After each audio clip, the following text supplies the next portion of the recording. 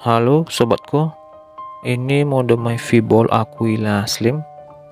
Ini barusan saya dapat dari online, saya beli di harga 100.000 di marketplace.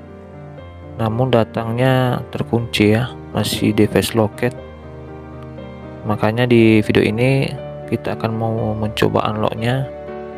Kalau unlocknya ini cepat ini, cuman satu menit udah tuntas unlock khusus Aquila Slim. Kalau Aquila Max beda lagi ya cara unlocknya. Kalau di video sebelumnya udah pernah saya buat juga tutorial unlocknya. Cuman karena dapat modem ball Aquila yang ini yang terkunci ya kita buat lagi ya tutorialnya sobatku. Oke kita langsung aja ke TKP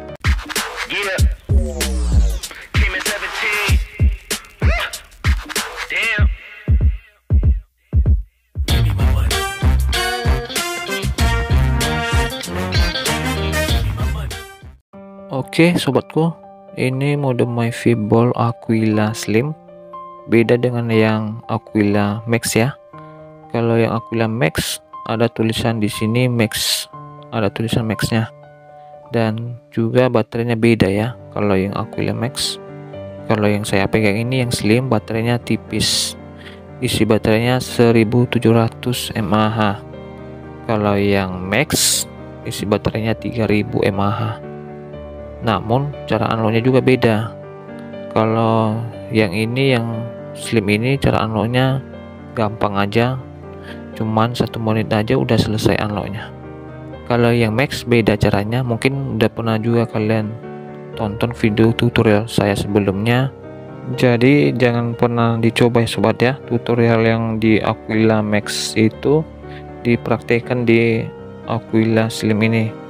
Ya pastinya nggak bisa sobatku malahan nanti mode bol kalian jadi padam ya.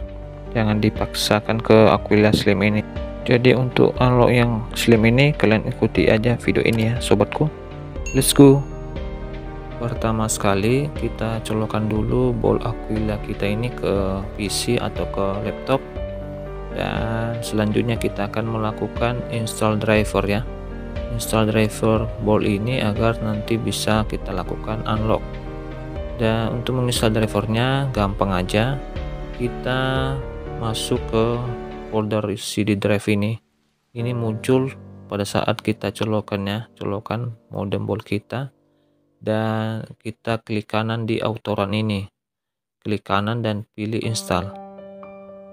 Klik kanan seperti ini dan kita klik install. Dan muncul seperti ini kita klik yes. Nah ini gagal error tapi tenang aja sobatku, masih ada cara lain untuk melakukan install drivernya. Caranya kita masuk ke halaman run, kita ketik di sini devmgmt.msc. Ini kita akan mau ke device manager. Kita mau lakukan install drivernya melalui device manager ya. Nanti kalau udah muncul device manajernya seperti ini, langsung kita klik yang desktop ya. Seperti ini tulisan desktop. Dan selanjutnya kita klik menu action dan add legacy Edward kita klik ini dan selanjutnya kita klik next. Nah di sini kita pilih yang di bawah pilihan yang di bawah ini dan kita klik next. Dan kita klik lagi next. Selanjutnya lagi kita klik fdisk dan kita klik lagi browsing nah di sini kita cari CD drive ballnya kita geser ke bawah dan ini dia kita double klik dan di sini kita masuk ke folder driver dan kita pilih MDA USB ya yang ini dan kita double klik dan oke okay. dan di sini kita next. Kita next di bagian sini. Dan kita next lagi. Dan kalau muncul notifikasi ini kita klik install. Dan kita tunggu sobatku dan selanjutnya finish. Sampai sini udah selesai. Sekarang modem wall kita kita cabut dulu kabel datanya. Lalu setelah itu kita colokan kembali ya. Ya tujuannya agar driver ball ini terpasang dengan sempurna di PC kita atau di laptop. Nanti kalau udah terpasang dia ada tulisan com-nya di sini ya di device manager seperti contohnya di punya saya ada com 17 di sini. Berarti drivernya udah terpasang ya. Oke selanjutnya kalian unduh file MIFI tool seperti ini. Kalian unduh linknya ada di bawah ya. Nanti kalau udah kalian unduh kalian buka seperti ini. Dan di kolom ini kalian isikan angka 1 sampai penuh. Kalian tekan terus angka 1 sampai penuh. Dan selanjutnya kita klik atau kalian klik tombol yang sebelah kanan yang ada tanda tanya dan tulisan email. Setelah itu nanti ada tulisan Chinese ada warna merah ya. Udah selesai. Nah di sini udah selesai kita melakukan unlock. Dan sekarang kita matikan MIFI kita atau modem bolt kita ini. Kita matikan dan setelah itu kita hidupkan kembali. Karena masih ada tulisan device locketnya ya belum hilang. Setelah ini nanti udah hilang device locketnya. Udah tampil jaringan operator atau sinyalnya ya. Ini tadi saya gunakan kartu di dalam ini kartu Telkomsel ya dari Bayu. Dan kita lihat apakah ini udah hilang device locketnya atau belum ya. Kita tunggu aja sedang loading. Dan ini dia udah mulai. Kita saksikan ya sobatku. Kita lihat apakah muncul sinyal atau enggak? Oke kita nanti nantikan sinyal dan lihat sobatku. Berhasil mantap. Ada sinyal 4G nya lihat. Dan tulisan Bayu ya sobatku. Oke mantap. Sampai sini udah berhasil kita melakukan unlock sobatku. Sekarang kita coba tes ya. Kita koneksikan ke HP kita. Apakah internetnya lancar atau tidak kita koneksikan dulu ya.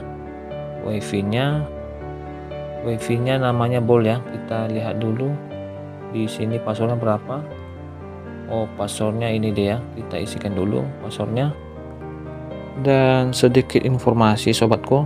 Kalau di bol Aquila ini dia hanya bisa kartu Telkomsel dan Smartfren setelah udah kita unlock ya. Dan di bola kuliah ini nggak bisa jaringan 3G hanya bisa jaringan 4G ya.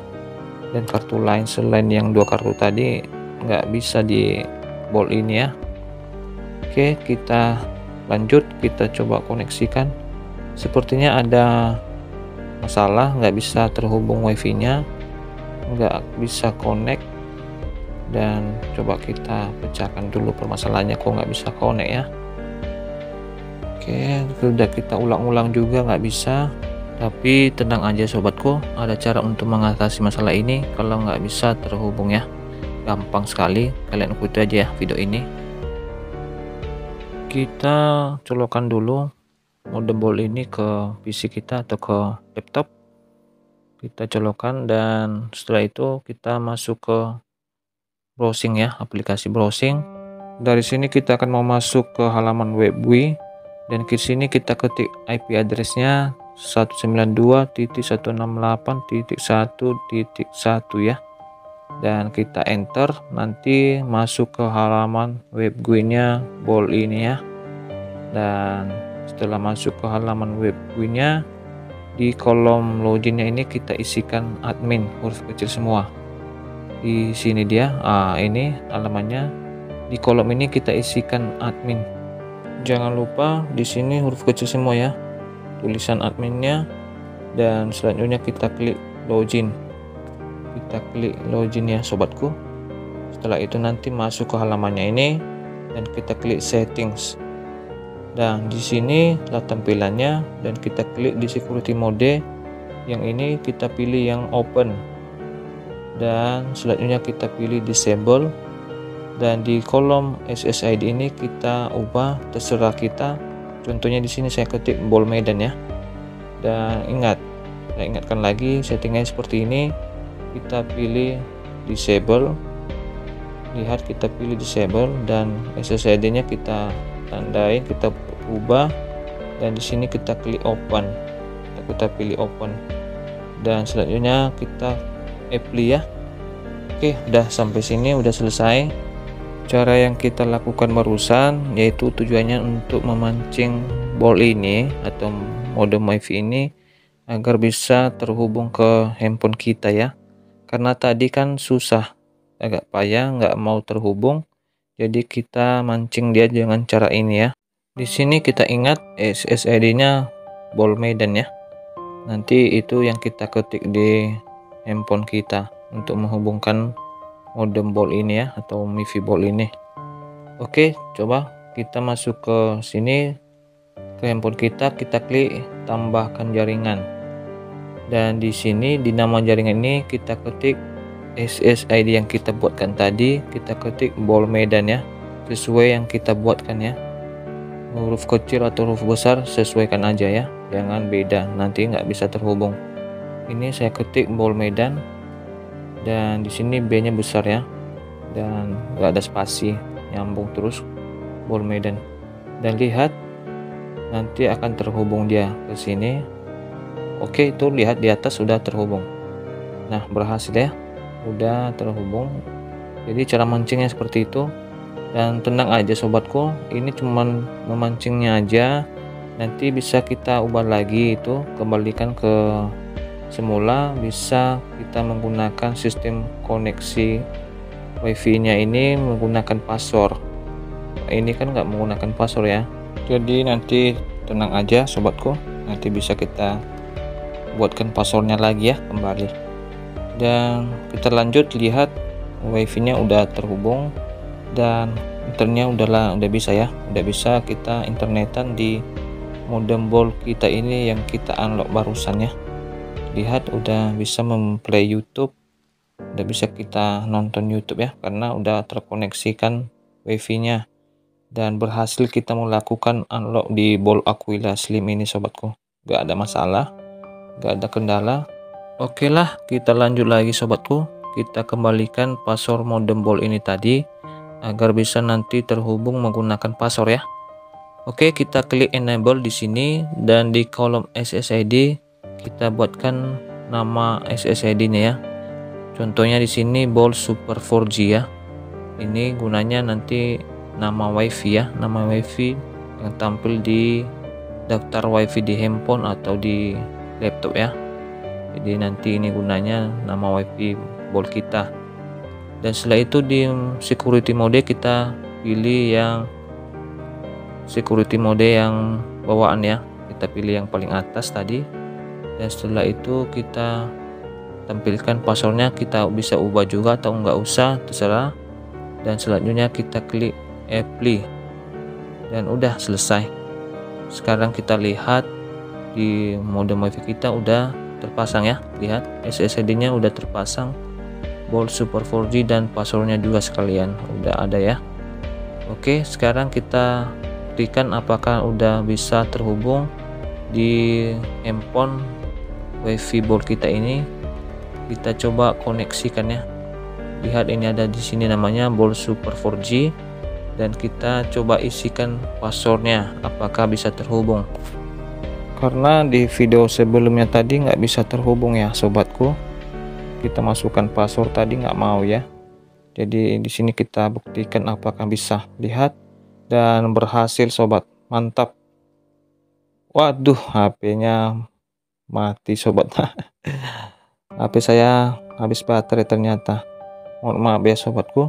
Tapi yang penting tutorialnya berhasil ya. Semoga aja ini bermanfaat buat kalian sobat. Dan kalau ada informasi tambahan juga bisa kalian share kepada kita ya sobat tentang ball ini. Dan kalau ada yang mau ditanya boleh kalian tulis di kolom komentar sobat. Oke sobat. Jangan lupa kalian subscribe channel ini kalian like kalian share dan sampai jumpa lagi di video berikutnya sobat